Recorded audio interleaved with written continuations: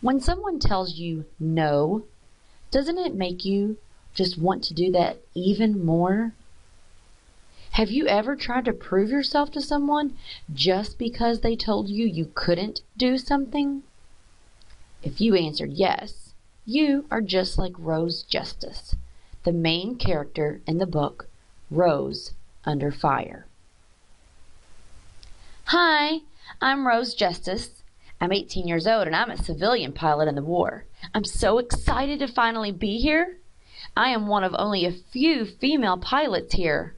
These men around here sure do think they dominate us. My dream is to be a military pilot, but I doubt that will ever happen because I am a girl. Don't you hate being told you can't do something? Ugh, I know I do. I guess it's a teenager thing, or maybe it's a girl thing. I'm not sure. But anyways, I want to be out there in the war. I want to be tipping those pilotless planes. Those evil things are what killed our friend and co-pilot Celia. Gosh, this war is just awful. It seems every day you hear of someone you know being killed. I sure do worry about my Nick. Oh, my Nick.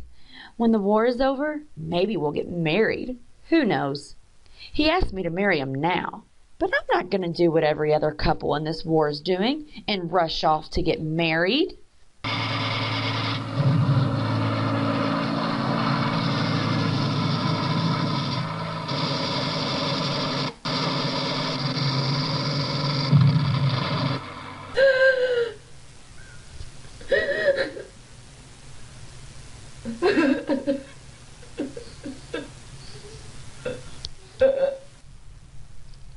I have been taken as a prisoner at Ravensbrück concentration camp by the Germans on my very first flight over German territory. They stripped me down and examined me in front of everyone. They shaved my head. They beat me. They starved me. But all of that was nothing compared to what they were doing to the Polish women. The medical experiments were killing them. And on the days they were still alive, they were in agonizing pain and could barely walk.